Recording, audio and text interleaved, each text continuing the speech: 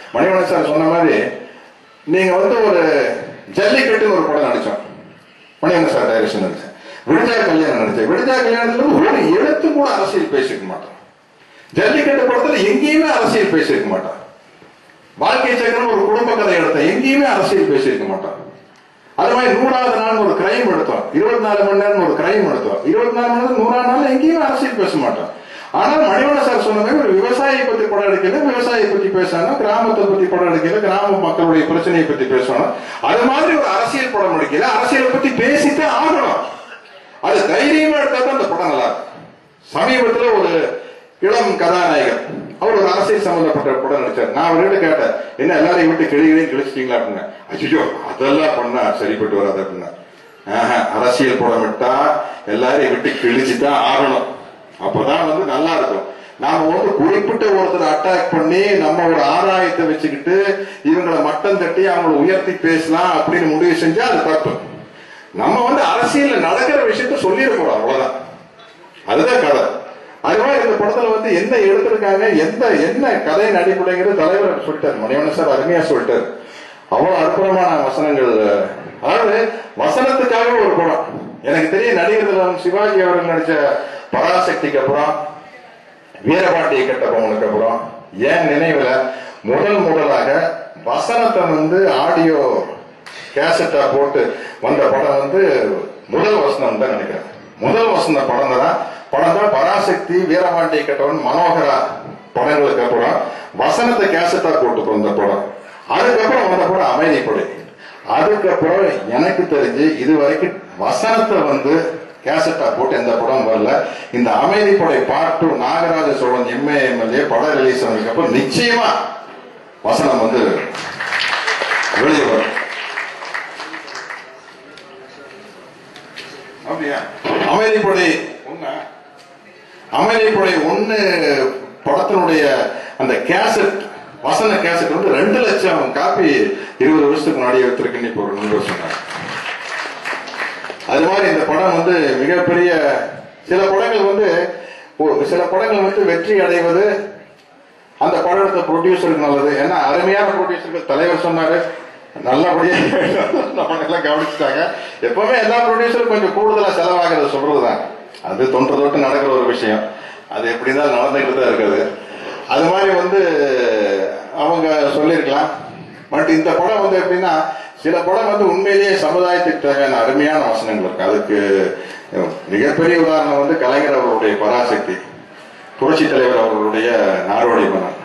இந்த ரெண்டு படத்தினுடைய நாடோடி மன்னன்ல வந்து அந்த புரட்சி தலைவர் எம்ஜிஆர் அவர் வந்து மன்னரா பதவி இருக்கையில பேசின வசனங்கள் வந்து இன்னைக்கு வரைக்கும் அது வந்து சாகா வரப்பட்ட வசனங்கள். அந்த மாதிரி இந்த படத்துல வந்து அவ்வளவு சிறப்பா இருக்கும். ஏன்னா இந்த படத்தை இந்த படம் எப்படி ஃபர்ஸ்ட் காப்பி வந்து நம்ம பாக்யராஜ் சார் பார்ப்பாரு. பாக்ய பாக்யராஜ் சார் வந்து ஒரு ஒரு திரைக்கதை மன்னன். அவரு அவர் அளவு ஒரு மரியாதை வந்து இந்தி ஃபீல்டில் அமிதாப் பச்சன் இப்ப நானும் மணிவண்ணன் சார் எந்திரிச்சுன்னு சொன்னாரு அமித் சார். அமிதாப் பச்சன் இருந்தா அமிதாப் பச்சன் எந்திரிச்சுட்டு இருப்பாரு. பாக்யராஜ் சாருக்கா அமிதாப் பச்சன் எந்திரிச்சு நிற்பாரு நான் அவ்வளவு பெரிய சாதனை சொன்னாரு. செஞ்சவர் இன்னைக்கு சிபிக்காக நிறைய பேர் வந்து கதை சொல்லிட்டு இருப்பாங்க. அந்த கதையை வந்து சிபி அந்த கேட்க சொல்லுவாங்க கேட்க சொல்ல நான் வந்து பாக்யராஜ் சாரை சொல்லிட்டு ஒரு உதாரணம் சொல்லுவேன். பாக்யராஜ் சார் வந்து திரைக்கதை எழுதுவது அப்படின்னு ஒரு புத்தகம் எழுதியிருக்காரு அதுல படிச்சேன். ஒரு இன்டர்வல் ட்விஸ்ட் விடும்போது அந்த ரைட்டர் எப்படி அந்த இன்டர்வல்ல வர அந்த தி- திரைக்கதையினுடைய திருப்பத்தை விடணும்னா இப்படி ஒரு இன்டர்வல் பிளேஸ்மெண்ட் சொல்லிட்டோமே இதுக்கு நம்ம என்ன செகண்ட் ஆஃப் இன்டர்வலுக்கு அப்புறம் இந்த முடிச்சை எப்படி அவிழ்க்க முடியும்னு நம்மளே திணற அளவுக்கு ஒரு ஒரு முடிச்சை போடணும். நம்மளே திணற அளவுக்கு ஒரு முடிச்ச போட்டு அதை அவிழ்க்கும் போது அந்த திரைக்கதை நிச்சயமா பிரமாதமா தான் வரும். இந்த முடிச்ச அவிழ்க்க முடியாது அப்படின்னு நம்மளே நம்மளே பயந்துக்கிட்டு முடிச்ச சாதாரணமா போட்டா அந்த முடிச்ச ஈஸியா அவுத்துருவோம். அது வந்து இன்ட்ரெஸ்டிங்கான ஸ்கிரிப்டாவே இருக்க முடியாது. நம்மளே அந்த முடிச்ச பார்த்து பயந்துக்கணும். திரைக்கதை திரைக்கதை எழுதினவரும் வசனம் எழுதுறவரும் கதை எழுதுறவரும் டைரக்டருமே அந்த முடிச்ச பார்த்து பயந்து ஐயோ இந்த இந்த முடிச்ச அவருக்கே முடியாது போட்டு ஒரு முடிச்ச போட்டு அதை அவிழ்க்கும் பொழுது அது ஆட்டோமேட்டிக்கா அந்த ஸ்கிரிப்ட் பிரமாதமா தான் வரும். அப்படின்னு பாக்யராஜ் சார் சொல்வாரு. சிவிக்கு கதை சொல்லுவார் அத்தனை எல்லா சிவிக்கு தெரியும். எல்லாருக்கிட்டையும் இந்த வசனத்தை நான் சொல்றேன். எப்பா ஈஸியா கதை பண்ணிடாதீங்க. ஈஸியா ஸ்கிரிப்ட் மூவ் ஆகிற மாதிரி பண்ணிடாதீங்க. அதுல ஒரு குடும்ப கதையா இருந்தாலும் கிரைமா இருந்தாலும் அதுல வந்து அந்த ஒரு டஃப்னஸ் இருக்கணும். அப்படின்னு வந்து அது ஒரு அது ஒரு திரைக்கதையுடைய மன்னன் அவரு. அவங்க விஷயங்கள் எல்லாம் நிறைய பேசினாங்க. எனக்கு வந்து எனக்கு மணிவண்ணன் சார் பேசி எத்தனையோ மீட்டிங்களை கேட்டிருக்கேன் அரசியல் சம்பந்தப்பட்ட விழாக்கள் பல மேடைகள்ல பேசிக்கிறேன் ஆனா இங்க ரொம்ப ஹைலைட்டா பேசிட்டேன் ரொம்ப பிரமாதமா பேசுறாரு எல்லா விஷயம் அரசியல் தன்னுடைய திரையுலக வாழ்க்கை ஈழ மக்களுடைய அவலங்கள் எல்லாத்தையும் பிரமாதமா பேசிட்டாரு. அவர் இங்க என்ன பேசினாரோ அது மாதிரி பத்து மடங்கு இந்த நாகராஜ சோழன் எம்ஏ எம்எல்ஏ இருக்கும். ஏன்னா இந்த படம் ஓடுன என்ன நிறைய படத்துல வந்து வில்லனா கேட்கிறாங்க வில்லனா கேட்கிறேன் நான் நடிக்கிறது இல்ல ஏன்னா வில்லனா நடிக்கிறது நான் கேவலமா நினைக்கிறது இல்லை ஏன்னா வில்லன் வில்லன் நடிகன் தான் எனக்கு சோறு போட்டவன். அதே போல நான் கேவலமா நடிக்க முடியும்? நான் என்ன சொல்றேன்னா அமைதிப்படை அமாவாசையை விட ஒரு வில்லன் கேரக்டர் சொல்லு. நான் நடிக்கிறேன். சேலஞ்ச் பண்றேன் நீ சொல்லு. ஆனா தப்பா நினைச்சுக்காதீங்க. அத்தனை டைரக்டர் சொல்ற தயவு செய்து தப்பா நினைச்சுக்காதீங்க. அமைதிப்படை வில்லனை விட ஒரு வில்லன் உங்களால் சொல்ல முடியாது. ஆகையால் எதிர்காலத்தில் மணிமன்னனை தவிர மற்ற இயக்குநருடன் நான் வில்லனாக நடிப்பதற்கான வாய்ப்பு இல்லை இல்லை இல்லவே இல்லை. ஏன்னா நிச்சயமா சொல்ல முடியாது. ஒரு டைலாக் சொல்ல முடியாதுங்க. ஒரு ஒரு ஒரு டைலாக் சொல்ல முடியாது. மணிவண்ணன் சார் வில்லனுக்கு ஒரு டைலாக் சொல்ல முடியாது. சொல்லுங்க நான் நினைக்கிறேன்.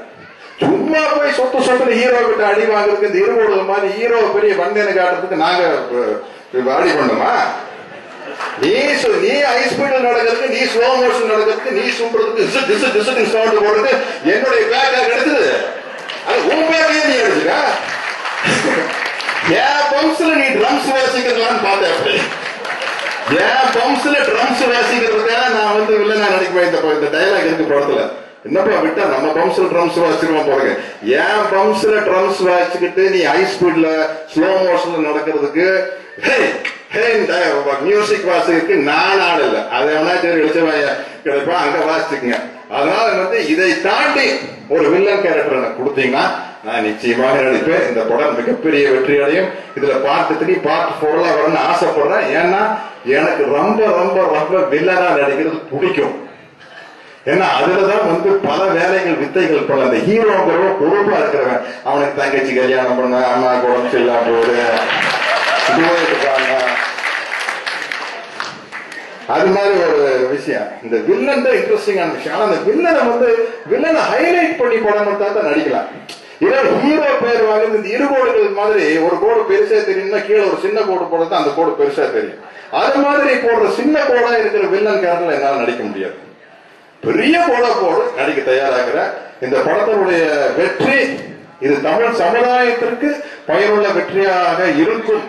அப்படிங்கிற நம்பிக்கையில இந்த படம் மிகப்பெரிய வெற்றி அடையணும்னு வாழ்த்துறேன். யாரையாவது விட்டு போயிருந்தா மன்னிச்சுங்க ஜேம்ஸ் வாசன் சார் வந்து ரொம்ப சேஃபா சொன்னாரு. அந்த சில டைலாக் எல்லாம் பின்னாடி மியூசிக் போடலான்ட்டு. இது வந்து மணிவண்ண சார் வீட்டு மேல ஒரு கல் விழுந்தா இருக்கிறதுல புலிக்கொடி இருக்குல்ல? அது மாதிரி இந்த படம் சம்பந்தப்பட்ட யாரு மேல ஒரு கல் விழுந்தாலும் புலிக்கொடி இருக்குது. புலிக்கொடி இல்லாத காலத்திலேயே எடுத்தோம் நாங்க. அமைதிப்படை ஒண்ணு. இப்ப இருக்குது. அப்ப எவ்வளவு தெனாவட்டம் உடைப்போம் நன்றி வணக்கம்.